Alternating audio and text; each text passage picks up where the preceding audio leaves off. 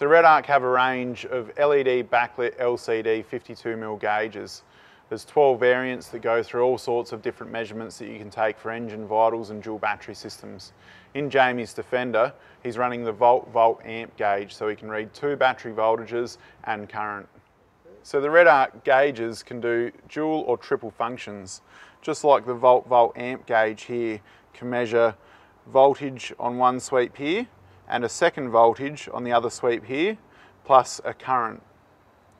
So in this application, like Jamie's ute, we're measuring the start battery voltage, where with this display I can actually simulate the alternator charging the start battery,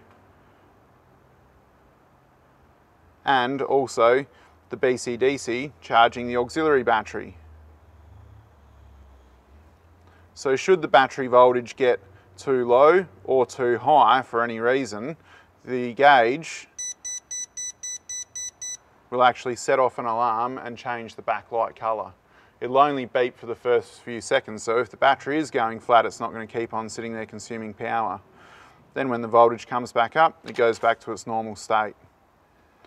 Likewise with the current measurement, it can measure current into when charging or out of the auxiliary battery whilst it's in use. And it's up to 100 amps either way that it can measure that. Now with all of the other gauge variants, these uh, under and over limits can actually be adjusted by the user.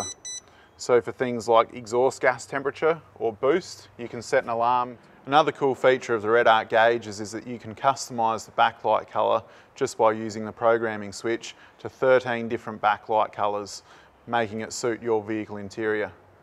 For more information on the REDARC gauges, go to redarc.com.au.